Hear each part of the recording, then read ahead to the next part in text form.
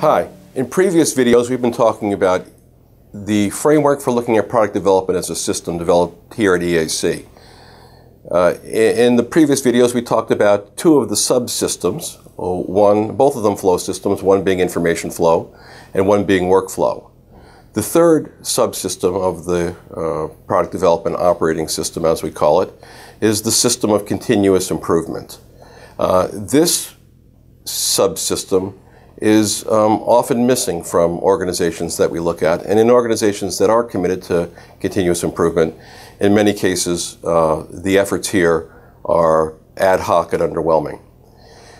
If you're familiar with the works of, of Covey, uh, The Seven Habits of Highly Successful People, you know he has a, uh, a thesis talking about the, uh, the tension between our urgent work and our important work, and that our urgent work tends to completely overwhelm our important work. And we see this in product development, where we see continuous improvement as the important work of product development, but it gets uh, pushed aside and overwhelmed by the urgent work of uh, completing projects.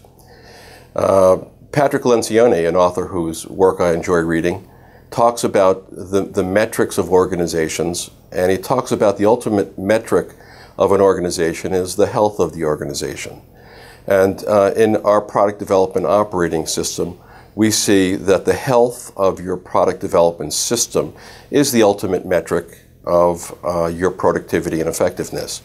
It puts us in mind of the uh, Chinese uh, medicine, the aphorism about Chinese medicine that says there's only one disease, and that's congestion, and there's only one cure, and that's circulation. Well, the circulation and product development are the flow systems, and the continuous improvement system is the system for increasing the health, the overall health of those flows and of the system, um, and the effectiveness and productivity of your product development system. So this continuous improvement subsystem of product development has three constituent parts, and each one aligns, aligns with a different tier of the organization. There's strategy, and this aligns with the executive tier, and the executive tier looks to build um, a shared vision, a vision of the future of the organization that collectively we're all working to realize. Uh, uh, another element of this continuous improvement uh, subsystem centers on subject matter experts, and it's the increasing of their expertise, their development, um, the deepening of their expertise, and the expansion of competency within the organization. And the third element in this continuous improvement subsystem is uh, the importation, the development of a root cause problem solving methodology, but one that is appropriate for knowledge workers, the workers who populate product development. If you um, bring energy, improvement energies to uh, product, your product development system, you need to bring a certain threshold of energy just to maintain your current state, if you will, to counterbalance the work, uh, the, the uh, destructive work of entropy.